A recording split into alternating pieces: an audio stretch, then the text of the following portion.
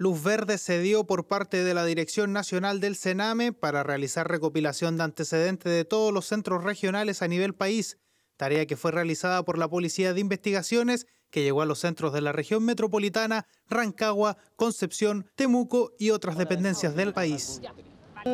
Nuestra intención es colaborar en todo lo que sea necesario a propósito de la investigación que se inició por parte del Ministerio Público. En ese entendido, el día de hoy se ejecutó una diligencia de entrada registro en causación voluntaria. Nosotros hemos dado todas las facilidades a nivel de Dirección Nacional y a nivel de las direcciones regionales. Durante toda esta mañana hemos realizado diligencias a nivel de todo el país, incluyendo la Dirección Nacional del Servicio Nacional de Menores y las direcciones regionales de cada una de las regiones del país. Hemos obtenido tanto computadores e información que respalda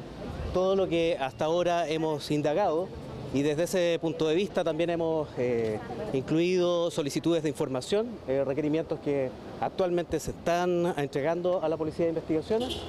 Vamos a centralizar toda la información eh, luego de toda esta actividad investigativa. Continúa la crisis del Servicio Nacional de Menores, tanto que a nivel regional también sufre consecuencias, pues integrantes de la PDI ingresaron a las dependencias de la Dirección Regional del organismo para mantener reuniones a puertas cerradas con los integrantes de esta institución. Reuniones que sobrepasaron las dos horas de duración, que terminó con la entrega por parte del Sename de documentación a través de computadores y carpetas que fueron llevados por integrantes de la PDI en sus automóviles particulares para revisarlos en la eventualidad. Eh, es un procedimiento de ingreso de la Policía de Investigaciones, aproximadamente a las 9.30 eh, de la mañana,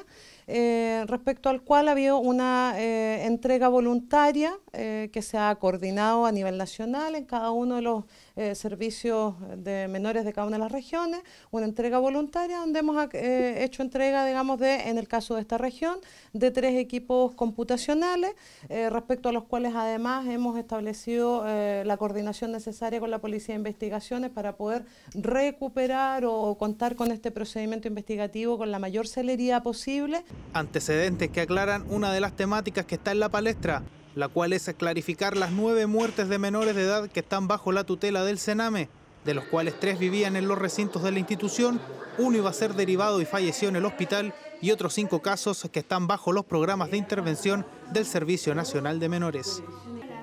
Lo que ocurre es que las carpetas de los casos no están guardadas en una bodega de la dirección regional, sino que toda la documentación de niños y niñas eh, está albergada en los centros donde estos niños han sido atendidos, porque que es lo que corresponde legalmente. Por lo tanto, necesitamos solicitarla a cada uno de los centros que han estado eh, a cargo de la atención ambulatoria o residencial de los niños y niñas. Sin duda que la posición de la directora del SENAME a nivel regional y también